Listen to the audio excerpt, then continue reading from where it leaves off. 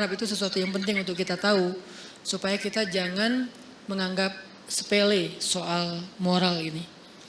Bukan jangan sampai kita uh, ternina bobokan hanya dengan udah hadir ke talim, udah gitu nggak ada tugas lain. Justru tugas utama dalam dakwah kita keluar dari masjid.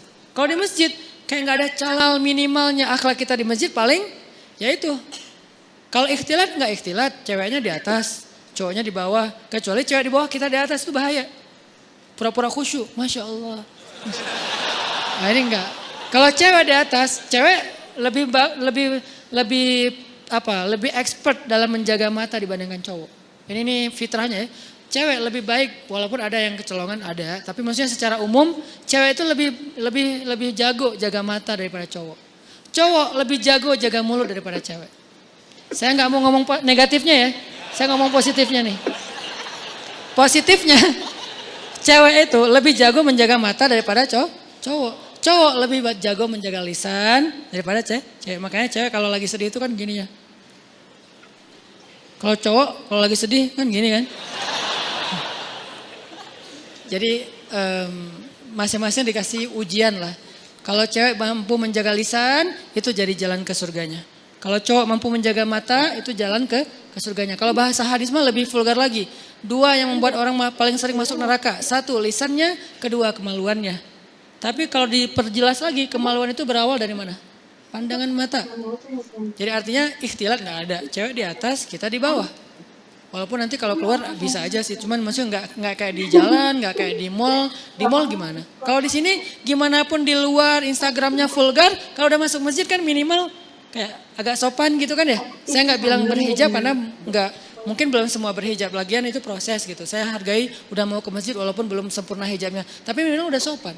Nggak mungkin kan masuk masjid kayak di sebelah misalnya.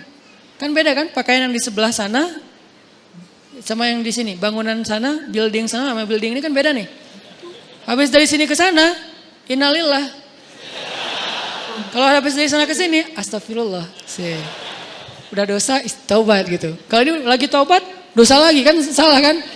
Jadi kayak beda. Nah coba lihat, kalau lihat perilakunya gimana di jalan sama di di mall atau di pasar kita bisa nggak nih keluar dari masjid baru kita tunjukin saya udah taklim. Minimal udah la tahkiran minal ma'rufi syai'a kata Nabi. Janganlah kalian meremehkan kebaikan walaupun kecil.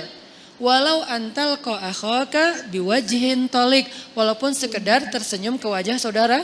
Jangan dianggap remeh, tersenyum juga. Udah kebaikan yang luar biasa, senyum doang. Tapi jangan salah sasaran. Karena kalau senyumnya salah sasaran, jadi seburuk-buruk senyum kan ya. Senyum ada pahala ada yang dosa. Senyumin istri orang dosa kan ya. Senyumnya tapi sewajarnya teh gitu. Teteh. Jangan berlebihan lah biasa aja. Apalagi kalau istri oh, suaminya tipe yang ya emang suami itu harus pencemburuan ya. Suami kalau nggak cemburuan namanya apa? Dayus. Jangan salah huruf ya. Dayus D ya. Siapa itu dayus? Kata Nabi, tidak akan masuk surga seorang da, dayus. Allah marah kepada dayus. Sahabat juga heran, ini istilah baru nih. Ya Rasulullah, dayus itu siapa? Kata Rasul, dayus itu suami yang ketika istrinya melakukan nusyuz, dia nggak cemburu. Nusyuz itu apa? Banyak grade. Grade yang sederhana dalam nusyuz, istrinya misalnya chat lebih dari jam yang ditetapkan. Misalnya kayak agak agak menurut saya berlebihan lah. Seorang cewek chat sama cowok yang bukan muhrimnya bukan karena darurat jam 11 malam. Harusnya batasnya jam 10 malam. Ini SOP ya buat cewek-cewek. Jangan chat ke cowok yang bukan muhrim kita lebih dari jam 10 malam. Chat itu kan jaringan pribadi kan? Diterjemahin japri lah. Panjang amat. E, chat itu kan japri. Jadi kita kayak ngobrol berdua, Nggak darurat, kecuali darurat. Ada urusan penting, urusan kerjaan, urusan sosial, urusan apa lagi. Tapi bukan modus. Eh, e, nanti jangan lupa ya sebelum tidur baca 100 ayat. Soalnya kata Nabi, pakai-pakai bawa Nabi lagi ya. Siapa yang sebelum tidur baca 100 ayat, maka dia dicatat sebagai orang yang tidak lalai, kan gitu kan. Karena siapa yang apa selalu dalam keadaan zikir berarti Allah ingat dia fad, uh, apa fadkuruni adkurkum. Berarti siapa yang sebelum tidur baca 100 ayat Allah ingat dia. sepanjang dia tidur sehingga dia tidur dalam keadaan diridhoi oleh Allah. Ya, jangan baca ya, eh, jangan lupa ya baca 100 ayat. Oh ya, surat apa? Bebas, yang kamu udah lancar aja. Atau kalau misalnya kamu ngantuk, aku aja bacain mewakili kamu. Apa gitu kan ya? Nah ini namanya modus. Jangan di follow yang kayak gitu-gitu. Oke, jadi eh, jangan lebih dari jam 10 kecuali darurat. Nah suami yang nggak cemburu istrinya chat terus cekikikan terus emotikonnya guling-guling apa. Nah, ini nggak nggak benar nih. Berarti dia udah mulai kena penyakit dayus harus cemburu. Nggak ada apa-apa kok. Bukan kita curiga sama istri kita atau sama cowok itu. Kita nggak suuzon sama mereka berdua. Kita suuzon sama setannya. Mereka dua-duanya orang soleh, soleh. Yang satunya ustadz lagi tuh. Ustadz, saya lagi sedih nih. Hati-hati, Ustadz juga manusia. Saya dipanggil Ustadz. Ustadz pernah tergoda? Hampir. Untung, astagfirullahaladzim. Wudhu gitu. Tapi nyesel, kenapa nggak disambung 5 menit lagi? Ustadz juga manusia, manusia. Jangan mengkultuskan Ustadz. Ah Ustadz mah insya Allah nggak apa-apa. Jangan. Kita nggak curigain ustadz, kita nggak curigain ceweknya, kita curigain setan yang ada di antara mereka. Dan setan itu ya jeri majrod dam, mengalir di dalam aliran darah kita. Dia tahu banget kelemahan kita di apa. Ada yang kelemahannya emotikon, dia tahu. Akhirnya dibisikin, eh lo bilang ke orang yang ada di dalam, uh, yang lo sembunyi di tubuh dia. Kan setan kayak saling apa uh, hati-hatian gitu kan. Roger gitu apa gitu apa. Setan kan saling kontak-kontakan kan mereka live terus online. Lo di tubuh dia, gue di tubuh dia ya. Ya udah kita bagi tugas. Kelemahan dia apa? Emotikon. Emotikon yang mana? Yang guling-guling yang berdarah-darah air mata. Akhirnya aku lagi sedih nih habis dimarahin suami. Oh biasa itu ujian rumah tangga. Mulai curhat. Lama-lama kok Ustaz ini enak diajak curhat ya. Nggak seperti suami saya. Suami saya mah orangnya cuek. Kalau Ustaz orang pengertian. Dia bisa menghibur saya, Masya Allah. Jadi nyaman. Nggak ada pikiran macam-macam. Nyaman doang nih. Nyaman chat. Ada masalah lagi, cat lagi sama. Dan Ustadznya juga kayak awalnya juga uh, berbaik apa berbaik hati. Kasihan juga mau ngasih motivasi, biar kasih hadis, ngasih ayat. Tapi udah jam 10 Ustadz. Ini udah jam 10, udah jam, udah nggak boleh lagi urusan privasi. Kalau mau chat kan bisa besok. Pagi-pagi habis subuh, Ustadz mohon maaf. Kalau perlu bahasanya kaku, nggak ada titik-titik, nggak ada koma, udah aja kaku. Kalau perlu semuanya kapital. Saking kakunya gitu. Jangan ada yang dikasih bunga-bunga, titik-titik panjang, terus uh, apa misalnya hurufnya didobel-dobelin gitu. Ustadz, ya, bahaya. Ya. Ini jarang kan Ustadz buka kartu kan? Bahaya. Karena ada Ustadz yang jadi korban ada, tapi kita nggak boleh menjudge. Yang mana Ustadz? Itu ya Ustadz? Ustadz, enggak saya nggak mau menjudge ya. Tapi ada, ada kasusnya ada aja. Ini nih dunia fitnah kan? Kita kan ngelihat Ustadz itu suci di atas mimbar. Di belakang mimbar, ya gitu deh. Ya manusia maksudnya, manusia sama kayak kita. Kelemahannya sama. Mudah-mudahan kita berbaik sangka dia lebih soleh. Tapi sesoleh-solehnya dia, bukankah di zaman di Bani Israel itu ada orang yang ahli ibadah 100 tahun. Ibadah terus. Ujungnya apa? Zina, membunuh, syirik. Gara-gara apa? Gara-gara tadi tuh disebut dengan talbisul iblis. Makanya bahasanya wala tattabi'u khutuwat, bukan khittah, tapi khutuwat. Khutuwat itu jamak dari khittah. Langkah-langkah bukan satu langkah. Setan itu nggak nyuruh kita langsung bikin dosa. Itu satu langkah. Nyuruh kita pelan-pelan dulu. Kalau perlu berpahala dulu. Jadi dia ke kanan dulu. Baru nanti muter ujung-ujung tanpa kita sadari udah di kiri. Gitu caranya bukan eh lo ke kiri. Enggak, kita nggak mau. Eh zina lo, nggak mau dong. Tapi eh kasihan dia bantuin ke kanan kan bantuin. Eh dia kayaknya lagi lagi labil banget daripada dia bunuh diri. Ya udah deh gue temenin chat sampai jam 12 malam. Kanan chatnya pelan-pelan. Ayat dulu keluarin. Hadis, lama-lama nasihat pribadi. Kok kata-katanya bagus? Ya kata-kata saya sendiri. Oh Ustaz ini bijak sekali. Mulai ke tengah, ujung-ujungnya ada di kiri. Itu terjadi. Berapa lama dari sini ke sini? Bisa seminggu, bisa sebulan, bisa setahun. Yang jelas usaha dari sini ke sini tuh seumur hidup kita dia usahain terus sama si setan teh. Dia nggak akan berhenti. Kita udah ke sini, udah sampai di sini, sadar, balik lagi kan? Diusahain lagi. Dia nggak akan berhenti sampai kiamat. Itu perjanjiannya dengan Allah.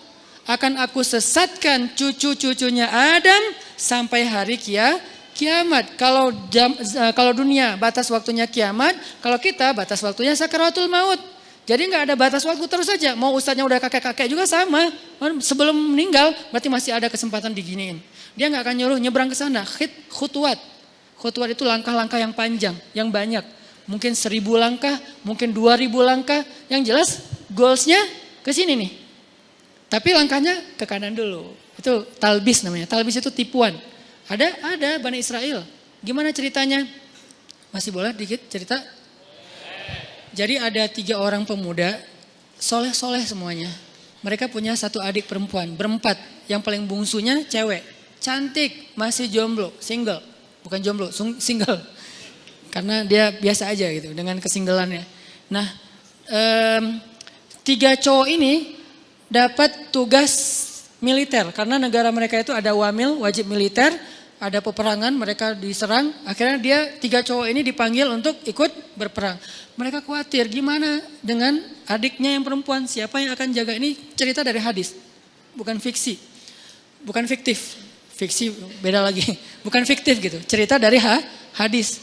Nah eh, karena mereka nggak tahu gimana cara ke siapa harus menitip adik perempuannya, keluarganya di luar kota nggak ada yang di situ susah gitu. Pokoknya intinya nggak ada yang mereka percaya selain seorang ahli ibadah yang ada di negeri mereka. Cuman beliau ini nih yang paling soleh, paling amanah, paling baik. Bukan ustadz biasa lah, ustadz legend lah ya. Udah senior banget lah ya. Nah akhirnya mereka sepakat bertiga, kita titipin aja adik kita ke syekh itu. Datanglah ke syekh ini. E, datang Eh, kalau nggak salah namanya Barsisa, nama syekhnya, Syekh Barsisa, kami uh, dapat tugas militer, kami ingin menitipkan adik perempuan kami di rumah Anda, karena tidak ada yang kami tenang menitipkan adik perempuan kami kecuali kepada Anda. Syekhnya nolak, ya wajar dong, orang soleh takut fitnah kan, Astagfirullahaladzim, saya nggak bisa, saya nggak pernah menampung kebenaran, Syekh ini juga nggak pernah nikah, saking sibuknya dengan ibadah, saking solehnya gitu. Bukan yang nggak nikah berarti udah sibuk ibadah juga. Beliau kayak Imam Nawawi. Imam Nawawi itu nggak nikah sampai akhir hayat kan? Ketika ditanya kenapa anda belum menikah? Oh astagfirullahaladzim saya lupa menikah. Kenapa? Karena saya sudah menikahi ilmu. Saking cintanya beliau dengan ilmu, ilmu itu lebih daripada istri buat beliau. Sehingga tidurnya dengan buku, bangunnya dengan buku, jalannya dengan buku, buku aja kerjanya. Imam Nawawi, ilmunya luar biasa dahsyat. Tapi jangan ditiru ya, karena kita nggak gitu-gitu amat juga tentang ilmu. Ilmu enggak, nikah enggak kan? Ya pilih salah satu deh. Kalau enggak ilmu ya nikah gitu. Masalahnya kita ilmu gimana? Apakah udah selevel Imam Nawawi yang hadis dalam semalam hafal berapa ribu hadis. Terus setiap malam tuh nulis buku. Sholat dua rakaat, satu, uh, satu paragraf. Dua rakaat, satu paragraf. Jadi setiap paragraf itu dua rakaat sholat. Wudhu dari isya ke subuh, satu wudhu. Selama bertahun-tahun, satu wudhu sholat subuh dengan isya. Maksudnya nggak tidur semalaman karena terjaga wudhunya Imam Nawawi. Nah Syekh bersisa nolak, nggak mau, nggak mau, nggak mau. Please, karena kami nggak tahu harus jagain apa, harus nitip ke siapa daripada adik saya apa-apain orang. Eh, karena udah dipaksain terus, ya udah deh. E, kalau mau, e, saya minta satu hal apa, bikinkan untuk adik kalian satu ruangan, satu kamar yang nggak campur dengan rumah saya di belakang gitu. Akhirnya dibangunin sama mereka kamar sederhana untuk adiknya yang perempuan taruh aja di belakang rumah si syekhnya. Syekhnya biasa beribadah di musola. Jadi rumah musola kamar ceweknya. Jarak rumu, eh, apa eh, musola dengan kamar ceweknya terhalang oleh rumah syekh. Jadi agak berjarak gitu. Udah pergi mereka berjihad. Hari-hari pertama syekhnya eh, nggak uh, pernah berkomunikasi satu patah kata pun dengan si cewek ini. Karena diamanahin nafkah, kebutuhannya, akhirnya dititipkan uang, Syekh ini ke pasar beli roti. Setiap pagi taruh roti di depan pintunya, balik lagi ke ke musola zikir. Astagfirullah astagfirullah. Si perempuannya tahu jam udah buka apa jam udah ada roti di depan pintu dia dia buka ambil roti makan di dalam. Nggak pernah komunikasi. Sehari seminggu. Minggu kedua mulai datang setan. Yuwaswis fi sudurin Fisudurinas pakai perasaan, bukan pakai logika. Perasaannya yang diusik. Kasihan juga tuh cewek kesepian. Masa nggak disapa sama sekali, ntar dianggap sombong loh. Ya sapa sederhana aja, nggak usah berlebihan, cuman uh, sehat gitu doang. Oh ya udah, titipin eh, apa roti. Assalamualaikum, sehat teh? Sehat Ustadz, Alhamdulillah. Oh ya, pergi aja. Gitu doang. Jadi kayak Japri, sehat, sehat. Udah, nggak pakai emoticon. Jadi bener-bener kayak, ya kayak apa, TS aja gitu kan ya. Dingin aja, nggak ada nggak ada apa-apa gitu. Zikir astagfirullahaladzim, astagfirullahaladzim, astagfirullahaladzim. Besok datang lagi setan. Masa cuma nyapa doang? Siapa tahu dia pengen sesuatu tapi nggak berani ngomong karena kaku. Ya lebih lemes lagi lah biar siapa tahu si cewek ini butuh apa nanti dia bisa ngomong karena nggak malu. Oh iya juga sih. Teh sehat ya kalau butuh apa-apa kasih tahu saya ya. Oh iya Ustadz makasih. Nah ini kan nih. Akhirnya datang setan yang satu lagi. Lo tugasnya sama cewek, gue cowok. Setannya bagi tugas. Tapi bukan karena kelainan, memang gitu tugasnya. Si, si setan yang ke ceweknya bilang, itu syekh itu baik banget ya, soleh banget. Kamu kalau ada apa-apa jangan sungkan, ngomong aja ke beliau. Beliau orang soleh kok, orangnya senang membantu. Kan baik kan? Nggak ada yang negatif kan? Besok-besok, teh butuh apa? Ya Ustadz boleh nitip sesuatu apa? E, pengen apa makan apa gitu. Ini ada uangnya, nggak apa-apa udah dititipin sama kakak-kakaknya. Tetap, oh ya udah, maaf ya Ustadz merepotkan. Nggak apa-apa. Nah, mulai ini. Pergi ke pasar, beliin apa roti, susu, Makasih Ustadz, Ustadz udah bagi dua aja saya, masa saya makan sendiri nggak habis. Setan bilang kan, nggak akan habis tuh mubazir. Benar nggak sih? Mubazir kebanyakan tuh udah bagi dua aja. Ustadz bagi dua aja, udah nggak apa-apa makan aja. Uh, kata si yang satu lagi saya tanya, jangan mau diterima, malu atuh sama cewek. Udah, akhirnya apa? Udah makan aja ntar kalau nggak habis baru saya habisin. C, mulai kan, makan. Ustadz nggak habis, ya udah sini dihabisin. Mulai kan agak-agak gimana gitu kan, bekas makan. Lama-lama datang lagi setan tuh. Coba tanya siapa tahu dia pengen belajar sekaligus daripada dia diam-diam aja. Nyantri aja sekalian. Nyantrinya apa? Belajar agama. Tanya butuh apa tentang masalah agama yang saya bisa uh, bantu. Eh, sedikit-sedikit adalah ilmu. Oh ya udah benar juga ya, dapat pahala lebih. Teh, nanti kalau butuh apa-apa, udah nggak nggak sungkan sekaku yang pertama kan? Butuh apa-apa kasih tahu aja ke saya, insya Allah kalau ada pertanyaan saya bisa jawab. Kalau nggak ada nanti saya tanya ke yang lebih ahli. Oh ya Ustadz, kebenaran saya lagi nanya nih masalah ini gimana? Nah mulai. Tapi masih di balik pintu. Kenapa? Jangan ketemu orangnya fitnah dong kata setan. Jangan nanti fitnah ikhtilat kata setan teh. Setan yang ngajarin ilmunya nih. Ikhtilat jangan. Oh ya benar juga. Jadi teriak-teriak dari belakang pintu, belakang depan pintu gitu. Oh kalau gini gimana Ustadz? Nah lama-lama datang lagi setan. Mungkin sebetulnya si Teta itu ada pertanyaan yang privasi. Nggak enak nanyanya sambil teriak-teriak. Kayak nanya masalah cara membersihkan haid atau apa kan nggak enak teriak. Ustadz cara ngebersihin haid gimana kan nggak enak kan ya? Ya udah kamu lebih dekat lagi duduk depan pintu jangan berdiri. Duduk aja depan pintu baru ngobrol. Oh, ya udah teh uh, kalau teteh butuh tanya apa-apa saya insya Allah siap jawab. Ini nggak perlu teriak-teriak. Oh ya Ustadz di balik pintu. Sama-sama duduk di pin, pintu tapi masih kehalang, pintu tertutup. Datang lagi besoknya setan. Apa kata orang ngelewat, ngelihat kalian udah ngomong kayak gitu. Satu dalam, satu di luar tapi duduk di pintu. Kan jadi fitnah. Ntar dikira semua orang ada apa-apa. Lebih baik masuk ke dalam biar nggak ada yang ngelihat. Tapi pintunya dibuka. Awas, jangan dibu jangan ditutup. Ntar digoda setan. Lah ngomong setan. Nah ini nih setan nih, talbis. Makanya ada buku tebal ya, judulnya Talbisul Iblis. Tipu daya, tipu muslihat i, iblis. Gitu dibawanya ke kanan dulu, baru ujung-ujungnya ke kiri tanpa disadari. Tapi buka pintu ya. Oh iya juga ya, nggak boleh tutup pintu, ntar jadi ikhtilat lagi. Ntar setan lagi. Padahal dari tadi juga setan. Udah, teh uh, boleh di dalam aja nggak enak dilihat orang. Oh ya Ustaz nggak apa-apa. Yang yang bagian ceweknya bilang nggak apa-apa dia orangnya amanah, nggak usah khawatir. Gitu kan? Udah aja duduk dekat pintu tapi udah di dalam ruangan ngobrol. Udah ketemu orangnya, beda udah pasti. Pertama cewek ini nggak pernah kenal dekat sama cowok. Kedua syekh ini nggak kenal dekat sama ce cewek. Ini adalah kali pertama mereka berinteraksi lawan jenis dan dekat sekarang. Nggak ada siapa-siapa. Mulai mulai bercanda. Jangan kaku-kaku amat datu ngantuk taklim teh. Kasih candaan dikit. Ya udah mulai canda, jadi akrab, jadi hai. Malu dilihat orang, masa bercanda tapi kelihatan orang. Udah tutup aja pintunya kan kan udah saling kenal, udah saling percaya tutup pintunya. Ngobrol, nauzubillah, terus dekat sampai akhirnya curhat si cewek ini. Namanya manusia pasti semuanya punya masalah kan? Akhirnya dia berani curhat. Ustadz, saya udah anggap Ustadz sebagai keluarga saya, saya percaya. Boleh saya curhat masalah pribadi? Curhat. Curhat, buka. Uh, waktu itu masih syariat hijab, cadar, buka cadarnya. Langsung udah lihat wajahnya, udah ke mana-mana, udah setan teh. Setan yang datang udah bukan lagi bab ini setan kan gonta ganti sesuai dengan kapasitasnya. Sekarang bab yang lain lagi, datang setan yang ahli di bidang yang lain. Udah, terus aja sampai mereka akhirnya udah akrab, udah tahu semua cerita-ceritanya. Nangis, ceweknya nangis, senangis-nangisnya. Datang setan romantis. Kalau yang pertama nggak ngerti romantis, taunya fikih. Kalau sekarang setan roman, jangankan setan, manusia aja ada yang kayak gitu. Dulu Senok Hogranya yang di Aceh tuh, dia hafal ribuan hadis, hafal Quran 30 juz hanya untuk merusak masyarakat Aceh dengan uh, apa berstatus ulama kan ya. Itu manusia loh, apalagi setan yang udah lebih legend lagi tuh. Akhirnya setan romantis datang.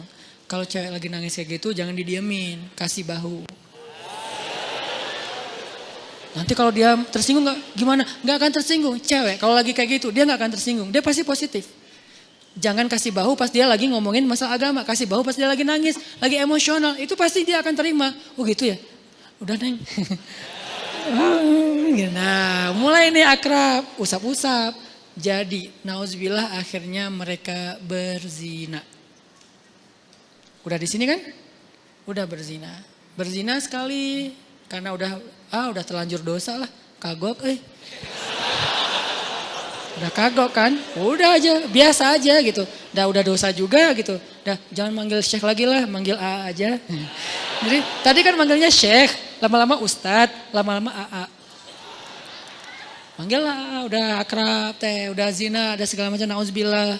Ngomongnya juga nggak enak. Udah gitu, maaf perempuannya hamil perempuannya hamil, Syekh ini takut ketahuan sama kakak-kakaknya. Karena adik perempuan mereka ternyata dihamili sama Syekh ini. Kalut, panik, datang setan kriminal. Bilang, eh, lo udah bikin adiknya, lo gak akan dibiarin hidup. Setannya udah beda ngomongnya. ngomongnya udah beda. Ah, udah terlanjur. Udah lo, lo habisin aja deh Gak usah banyak mikir, udah lo habisin aja lo sekarang. Udah, udah, gitu-gitu. Oh udah dihabisin, dibunuh ceweknya. Karena takut ketahu, ketahuan. Ditakut-takutin sama setan. Pokoknya lo habis lo, malu semua orang kampung akan mencela kamu dan segala macam. Pokoknya dibikin goyah banget nih Syekh ini. Akhirnya dibunuh, dikubur di belakang rumah. Tapi udah dibisikin sama setan alasannya, modusnya apa? Bilang aja sakit, meninggal, dikuburin. Enggak lama, belum juga, baru sehari kadarullah datang nih kakak-kakaknya. Syekh, Assalamualaikum. Waalaikumsalam. Syekh, Alhamdulillah, udah Alhamdulillah kami semuanya selamat. Uh, adik kami di mana? Syekh ini pura-pura sandiwara. Ada apa Syekh? Innalillah yang sabar ya gitu. Allah mentakdirkan kalian gak ketemu lagi. Baru aja kemarin adik kalian sakit keras dan meninggal. Maafkan saya nggak bisa jaga amanah kalian. Innalillah wa inna ilaihi Ya nggak apa-apa Syekh, di mana kuburnya? Di belakang. Datang doa, pulang aja. Setan kan jahat banget ya. Setan tuh nggak pernah berpihak sama kita. Dia itu pengadu domba. Malam setan ini datang ke dalam mimpi ketiga kakak beradik ini, mimpinya sama. Setan yang sama, gimana nggak sama redaksinya? Mimpinya sama. Datang eh adik kalian itu nggak meninggal sakit, dibunuh setelah di, di, dinodai sama syekh itu. Buktinya kalau kalian mau tahu, coba kalian gali kuburnya, lihat bekas pembunuhan itu. Kalau datang ke satu, ya anggap aja mimpi. Datang ke yang kedua, sama. Ketiga sama, bangun dari mimpi. Saya mimpi buruk tentang adik, saya juga sama. Apa mimpinya? Diceritain, kok sama ya mimpi kita? Mencurigakan sekali kan? Kok mimpi kita sama? Wah bahaya nih, kita bukan suuzon sama syekh, tapi kita harus buktiin. Ayo, Besoknya mereka diam-diam datang, digali kubur adiknya yang belum kering, yang masih basah tanahnya. Benar ada bekas pembunuhan dan dia dalam keadaan ha, hamil. Syekh ini langsung dibawa ke pengadilan. Dikeroyok sama masa. Dibawa ke pengadilan diputuskan hukuman mati. Di tiang hukuman mati sebelum dia mati datang setan yang terakhir. Setan yang paling banyak ilmunya, ulamanya setan. ini nih setan paling pro nih. Datang terakhir. Syekh kata dia. Syekh tahu selama ini kenapa Syekh sampai di sini? Yang melak, yang membuat Syekh sampai di sini tuh saya dan geng. Saya and and the gang. Kita yang menggoda seks dari awal mau menerima cewek itu, kemudian ngasih roti, kemudian mau menyapa, kemudian mau fatwa, kemudian duduk di dalam rumah, kemudian menutup pintu sampai berzina, membunuh dan seterusnya, berbohong, itu semuanya kami. Dan sekarang kamu udah nggak bisa ngelak. Hukuman sudah ditetapkan, masyarakat sudah benci sama kamu. Satu-satunya cara kamu selamat sekarang adalah cuman kami yang bisa nolong kamu. Karena kami yang mencelakai kamu. Gimana cara saya bisa selamat? tunduklah ke saya. Sujud. Kalau kamu sujud ke saya, maka kamu akan kami selamatkan. Ini kesempatan kamu yang terakhir. Itu apa? Eh, pedang untuk membancung dia itu udah siap. Orang kayak gitu kan labil banget. Akhirnya dia sujud, dia mengakui setan itu sebagai Tuhan, dipancung, matilah Syekh ahli ibadah 100 tahun ini dalam keadaan pembunuh, pezina, pembohong, dan syirik. Kenapa bisa kayak gitu? La tattabi'un khutuwatis syaitan. Janganlah kalian mengikuti langkah-langkah setan. Dia nggak akan langsung nyuruh satu langkah ke kiri. Dia nyuruh ke kanan sekilo. Jauh banget ke kanannya. Sampai gara-gara setan kita jadi ahli ibadah banget. Gara-gara setan nih saya jadi bisa tahajud. Kok bisa? Soalnya dulu saya nggak pernah tahajud. Gara-gara ada modus sekarang jadi tahajud. Ya gitu ya. Jadi sekarang awalnya sih modus. Lama-lama istiqomah. Masya Allah setan teh. Jadi dari modus jadi istiqomah istiqomah. Terus besok-besoknya tuh kan gak apa-apa. Udahlah gak usah terlalu idealis. Besok-besoknya ketemu apa na'udzubillah. Sampai berada di sisi yang kiri dan itu udah terjebak. La tattabi'u khutuwatis syaitan. Jangan ikuti langkah-langkah setan. Bukan jangan ikuti langkah setan. Jangan ikuti langkah-langkah setan. Jadi yang kayak tadi misalnya Dayus. Ini gara-gara ngomongin Dayus nih. Suami harus cemburu. Karena cemburunya suami itulah penjaga istri. Kalau suami udah nggak cemburu, istrinya berlebihan komunikasi dengan lawan jenis, sikap ke lawan jenis, berarti istrinya udah nggak ada yang jagain. Bukankah tugas suami itu ku amfusakum wa ahlikum naro, tapi cemburunya juga cemburu yang baik, jangan mencela. Cemburunya menasehati kan dia Al-Quran juga dikasih tahu ya, menasehati mereka, pindah tempat tidur, apalagi eh, nasihati, pindah tempat tidur, pukul dengan pukulan yang tidak melukai dan tidak menyakiti, Kemudian kalau mau menceraikan pun dengan cara yang baik. Tapi nauzubillah jangan sampai ke tahap itu gitu. Yang jelas cemburu harus punya, cuman jangan berlebihan. Nah yang akhwatnya, yang cewek-ceweknya kalau dicemburuin suami bahagialah. Kenapa? Berarti suami kita sayang sama kita. Berarti suami kita itu masih perhatian sama kita. Selama ekspresi cemburunya belum berlebih, belum berlebihan. Cuman cemburu, jangan gitu dong gitu. Gak ada apa-apa kok, emang gak ada apa-apa. Tapi kan gak, gak pantas. Nah ini nih yang kayak gini-gini nih, kayak komunikasi japri di grup pas ketemu orangnya atau apa pun, ini harus terjaga. Ini nih tadi yang bab dayus ya, ini juga sesuatu yang uh, behavior. Ini kita rubah pelan-pelan, mudah-mudahan nanti kita akan melihat Bandung dan Indonesia anak mudanya yang menjadi wajah negeri ini sudah memiliki behavior seorang uh, muslim yang mungkin yang pastinya terilhami terinspirasi dari sosok orang yang paling ideal di antara manusia yaitu Rasulullah Sallallahu Alaihi Wasallam.